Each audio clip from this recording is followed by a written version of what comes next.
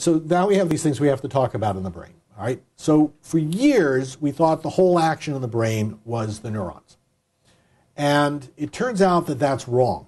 That's maybe half the action in the brain. The other half of the action in the brain is the neuroglia, which are the supporting structures. Now, for the longest time, we thought neuroglia was simply the skeleton, the exoskeleton of the nervous system that kind of supported and held the, the neurons in place. Turns out that that's not correct. So, yes, the neuroglia are the connective tissue of the brain, that they insulate the neurons by forming myelin sheaths around the nerves, that they supply nutrients and oxygen to the neuron, but they modulate neurotransmission. All right, so they're extremely important for whether or not what gets transmitted or doesn't get transmitted. The, the, we'll come back to the specifics of some of this. They destroy pathogens, uh, they create the cerebral spinal fluid, and they form the blood-brain barrier. So they got a lot of things that they're doing, and without doing any of that, you know, you take away the, the neurons and you no longer have a brain. But if you leave the neurons and you take away the glial structure, you no longer have a brain. You need both. Okay, they're extremely important for each other.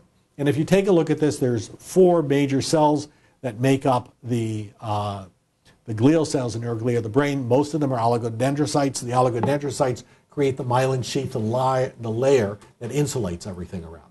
A disease in which you see loss of those myelin sheaths is multiple sclerosis. With the loss of those myelin sheath, you see loss of the insulation, and you get lots of crosstalk and lots of noise going on in the system It doesn't function properly. The astrocytes uh, have a whole other role in terms of removing specific neurotransmitters so they don't accumulate in, in the space between the neurons and overstimulate the neurons. Uh, they also create the blood brain barrier uh, and the blood CSF barrier. Uh, the microglia, which we're going to be focused on, have the smallest footprint in, in terms of the glial cells, but in our, in the diseases we're going to be talking about, here, they have the largest impact. So this is just a picture of what these things look like. And so here we see oligodendrocytes running around coating the neurons in order to uh, protect them. But they also create these gaps. Those gap junctions allow the neurons to fire much more rapidly. So the signal moves much faster down the, down the neuron as a result of those gap junctions. And then sitting off to the side, we see an astrocyte, which is creating the blood brain barrier again. And then these little guys up in the corner here, the microglia. A couple of interesting things about microglia. They're not attached to anything, they just float around. All right? They are the innate immune system of the central nervous system. And they are going to be the focus of what we're doing. So the mediators of inflammation in the brain and the spinal cord are microglia. These cells are critical to our understanding about what's going on.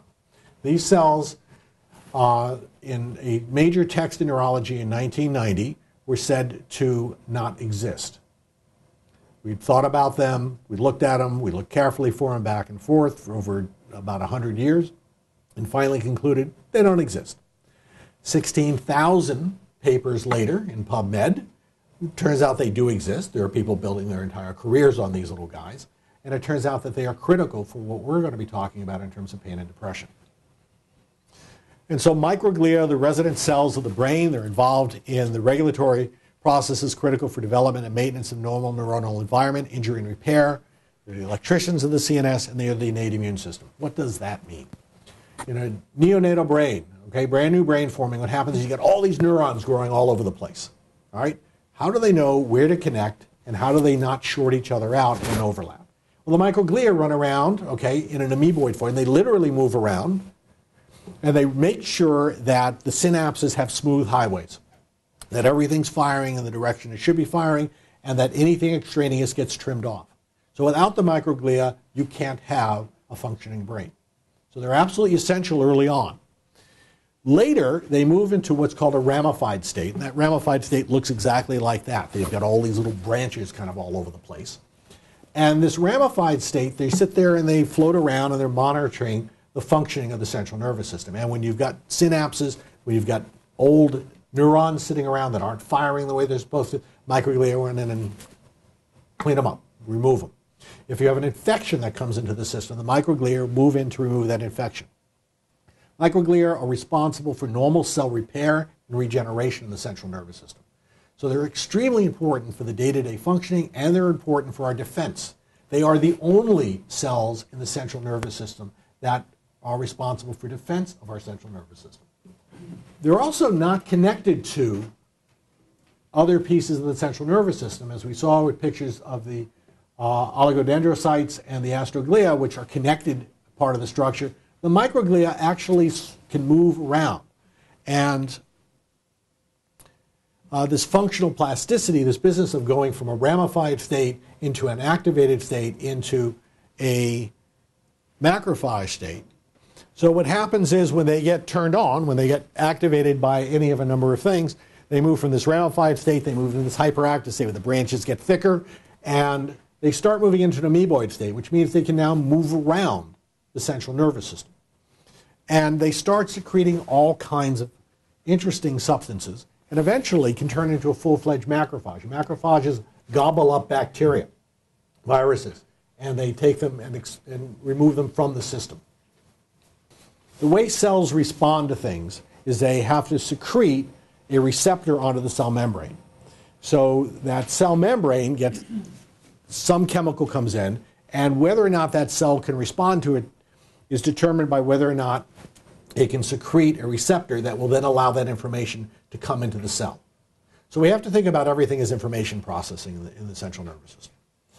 So these guys can secrete upwards of about 35 different receptors on their cell. All right, that's an amazing number of receptors. Most cells can't begin to respond to that much stimuli in the environment. So they've got upwards of 35 different types of receptors they can respond to. Uh, what they have here is receptors to opioids, cannabinoids, and benzodiazepines. That starts to give us some understanding as to ways that we can begin to work with the microglia in order to either upregulate them or downregulate them. And this is a real problem because one of the things we reach for in treating chronic pain is opioids. All right? We were watching our patients with chronic pain and chronic depression, and we would give them opioid medication, and their pain would get better, and their depression would get worse. And we took them off the opioids, and then their pain would get worse, but at least their depression was a little more manageable.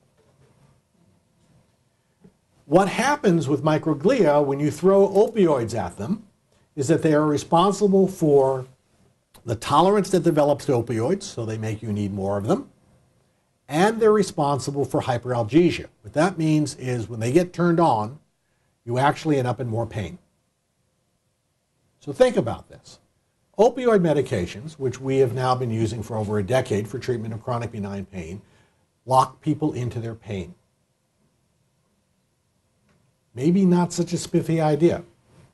Now, in the short term, the use of opioids is not a problem because there's five times as many opioid receptors on the neurons as there are in the microglia. So that's why we can get away with short term use of these drugs. Long term use of these drugs, we create a problem. At the point that we commit you to chronic opioid therapy, you're committed. We need to be very smart and rethink what we're doing with opioid medications in the treatment of chronic pain because I know they do the wrong thing to microglia. We've already started to approve the use of marijuana, marijuana derivatives for the treatment of chronic pain, and it turns out that there are two types of marijuana, cannabinoid receptors on the microglia. Uh, one gets you a bit high, but the other one actually does a nice job of down-regulating microglia and reducing neuroinflammation. And in fact, there's a large number of people who have post-traumatic stress syndrome who already have figured this out that by smoking cannabis, they actually find that their anxiety is significantly improved. That's probably one of the major mechanisms via which that's happening. So you always hit one and type 1 and type 2 receptors uh, when you're using marijuana. It would be nice if we could be more specific uh, and get the one that specifically down regulates the microglia. benzos, we're still trying to figure out. What are benzos? Benzos are uh, all of your sleeping medications Ambien, Lunesta, um, Sonata. Uh, they are Klonopin, all your anti-anxiety agents, uh, Valium. We're not entirely certain how the benzos react on the microglia, but we know that they seem to interfere with the way energy is processed in the cell and de- deplete the way the energy is processed. And why does this become curious to us? Because we now have studies showing that chronic use, chronic being defined as greater than four times a month of benzodiazepines, shortens people's lifespan. All cause mortality, cancers, heart disease, stroke. We do not understand the mechanisms yet, but we do know that chronic use of these medications will shorten your lifespan. So, as we begin to understand, you're beginning to understand the utility of knowing what microglia do and why that target becomes so important to us.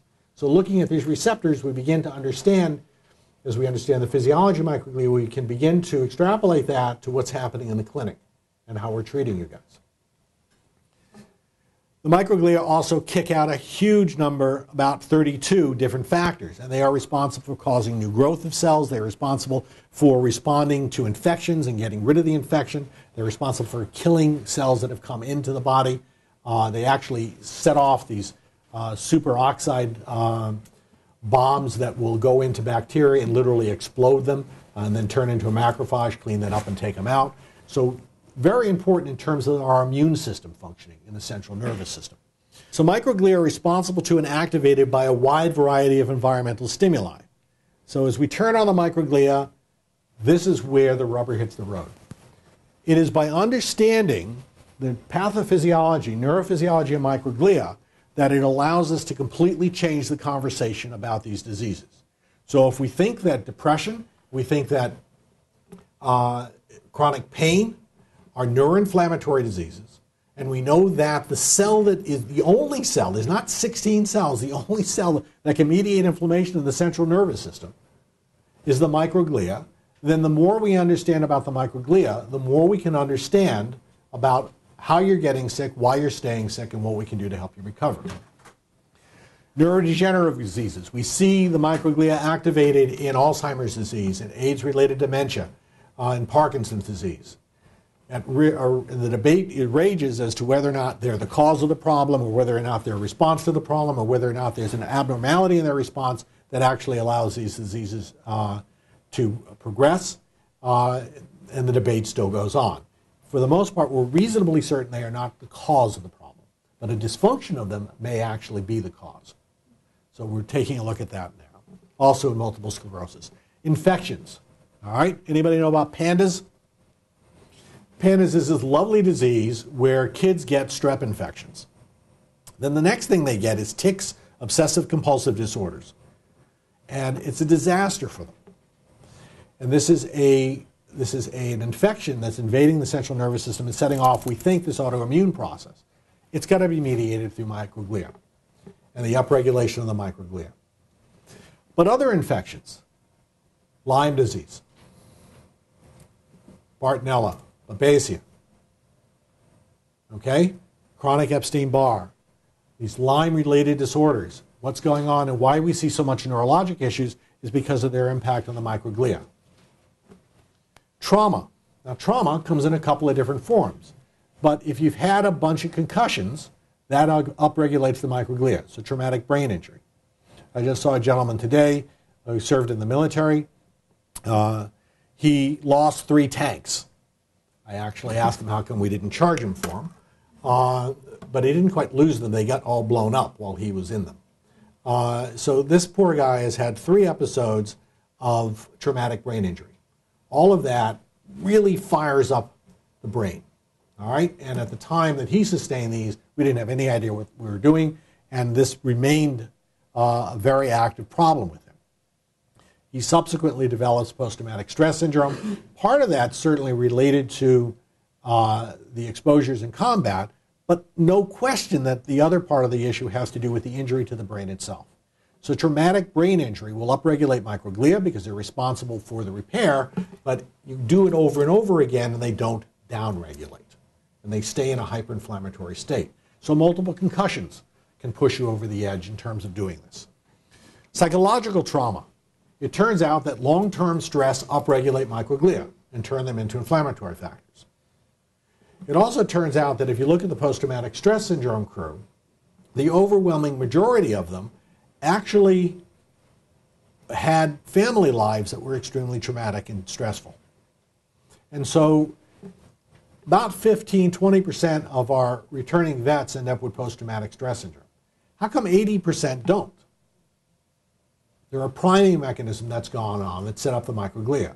So psychological stress will do it, uh, physical trauma will do it, toxins, okay, lead, and um, uh, diesel particles have been shown to upregulate microglia, but also mycotoxins, poisons that we see in the environment that occur in houses where there's been mold overgrowth where there's been bacterial overgrowth with exotoxins and uh, that get secreted from these bacteria. There's a huge number of them that were found uh, following Katrina. It's not just mold in the house, but it's also bacterial overgrowth that occurs in the house. And all of these things get aerosolized, and ultimately, this business of these vague symptoms, these difficulties focusing, concentrating, this fatigue that comes on in these people, all of this is really hyperreactivity of the microglia that's going on. And so we're looking at the causes of this stuff. Medications, we've already talked about uh, some of the medications, the opioids in particular, that can upregulate them. But there are also medications we'll talk about in a minute that can downregulate them that we want to look at. Hypoxia. What would cause hypoxia? A loss of oxygen to the brain. Affects 5% of the population in the U.S. at least. Anybody know? Sleep apnea. Sleep apnea. So if you stop breathing at night, you lose oxygen to your brain. That will upregulate the microglia and leave it in a chronic inflammatory state. So then we have to start asking questions about sleep apnea. How do you sleep? What are you doing? Ischemia is simply stroke, anything that reduces blood supply to the brain. So now we know that there's a bunch of things that can upregulate the microglia. We know that Depression and chronic pain are neuroinflammatory diseases. But now we know that there's a bunch of things that can turn these things on, and there's a bunch of questions that we have to ask in taking a history. So our whole perspective on these diseases completely changes when we quit calling it depression and we quit calling it biotoxicity, uh, we call it—I'm sorry, we could call it chronic pain, fibromyalgia, and we now think of it as a neuroinflammatory disease thinking about these diseases from a neurophysiologic perspective changes the questions we ask, presents us with a whole new set of opportunities to cure these problems.